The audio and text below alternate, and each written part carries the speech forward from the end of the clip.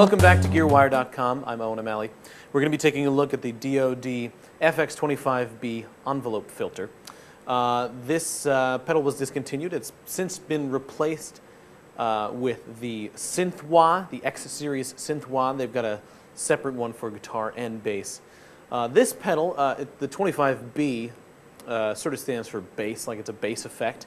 And if you've ever seen the Flea instructional video, this is the same pedal that he uses, um, which is why I bought it. Uh, but it can be used on guitar as well, and we're going to check it out on both. Um, in this first video, though, we're going to take a look at it on bass. Uh, let's hook it up. Now, fine-tuning this pedal uh, for different basses you might play is really where the blend control comes in. Uh, the blend control, you know, affects your dry-wet signal.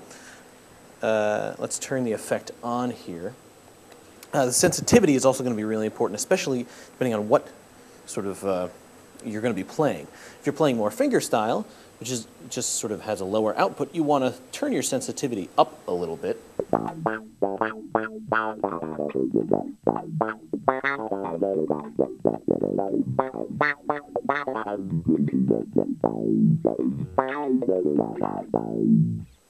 If you're going to play slap, you know, it's got a, you're going to have a higher output. So to make the effect more noticeable, you want to turn your sensitivity down a little bit.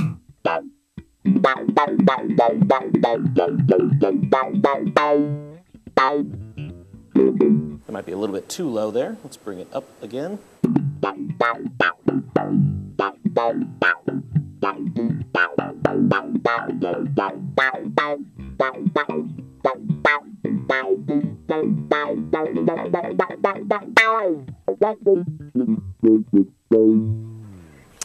So there you go. Uh, the blend control will also make it a you know, very different sounding uh, effect.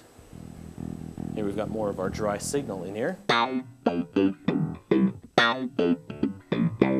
you feel like you're losing a little bit of low end, you can just turn the blend all the way counterclockwise and bring your original tone in there. Uh, if we have it all the way up.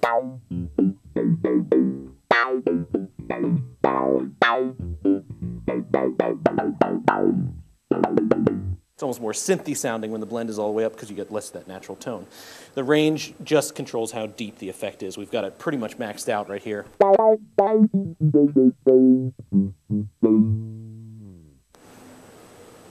Turn it down here.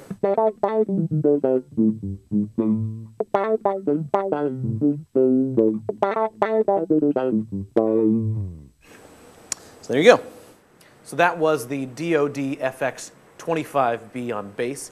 Uh, in our next video, we're going to take a look at it uh, on guitar. Until then, uh, this is Owen O'Malley, and you're watching GearWire.com.